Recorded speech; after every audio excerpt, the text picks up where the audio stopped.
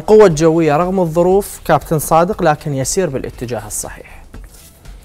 اليوم آه، شوف آه، فريق القوة الجوية آه، أعتبر حمادي إلى اليد الكبرى بهذا الموضوع. يعني المشاكل اللي صارت على القوة الجوية الحقيقة آه، ما مر على أي نادي على أي فريق. اليوم قيادة حمادي داخل الفريق هاي من أهم نقاط.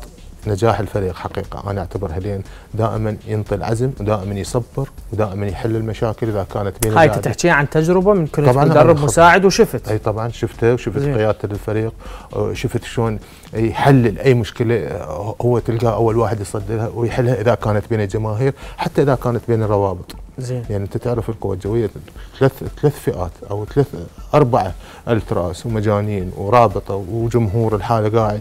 فهاي مشاكل كثيرة. آه، دائما نشوف حمادي هو اللي يكون بالواجهة. إذا كانت مشاكل بين اللاعبين والإدارة زين هذا دائماً على مستوى حل المشاكل والقيادة. المستوى الفني داخل الملعب.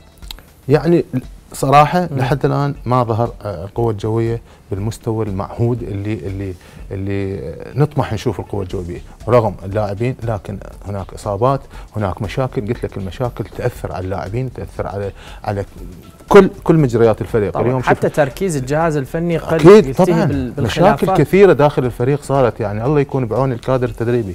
لكن هذه المباراة اعطت دعم وقوة للفريق إنه فريق يملك شخصية وقادر على منافسة على اللقب وعلى إحراز اللقب. تعادل الشرطة اليوم أعطى فرصة للجوية أن ينفرد بالصدارة أمام نوروز كابتن يوم غد. أكيد طبعا إذا الجوية يوم غد يعني إذا فاز راح يتصدر. لا تنسى شوف يعني واحدة من المباريات إنه كابتن قحطان قدم استقالة.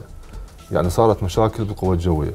لكن أكو أكو أكو كادر تدريبي رجع عرف كيف يقود ال- الفريق. وأكو لاعبين مثل ما قال الكابتن صادق أكو لاعبين بالقوه الجوية.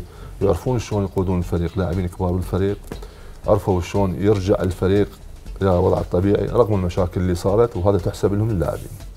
وهذا الموضوع ما عندكم بالزوراء لاعبين يقودون بهذه عندنا أنتم بالعكس. إحنا ما إحنا عندنا عندنا لاعبين يقودون بس قلت لك إحنا شوية مشكلتنا فنيه تطرق الموضوع كلش مهم إنه أنت بالزوراء تتقدم وتعطي اهداف اذا